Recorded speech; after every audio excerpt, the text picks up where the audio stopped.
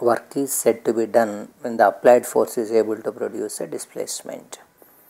Well, you have applied a force on a body and you have done some work.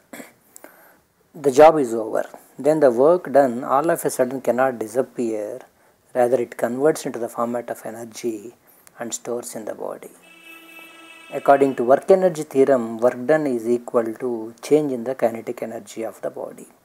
Let us try to prove that uh, considering a body of mass m who is the initial moving with the initial velocity u.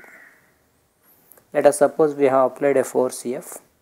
Therefore, after tra traveling certain distance s, let the body, same body, has acquired a velocity v.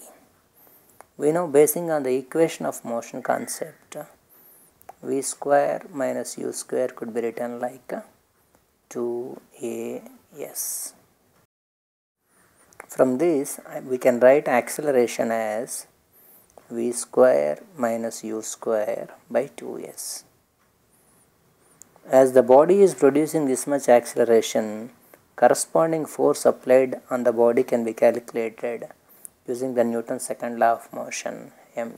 It is nothing but m of v square minus u square by 2s. When you have applied this much of the force on the body, body has got a displacement yes Therefore, I can write work done as force into displacement. As force and displacement are acting in the same direction, the angle between them equal to 0.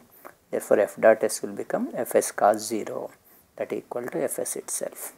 Substituting the value of the force, we can write work done as force we have just now derived as v square minus u square by 2s and displacement is nothing but s.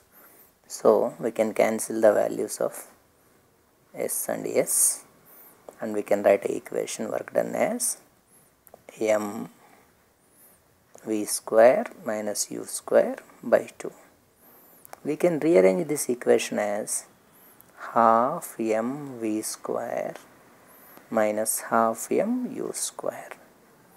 Therefore, we have proved that work done is equal to half m v square is kinetic energy final because v is its final velocity.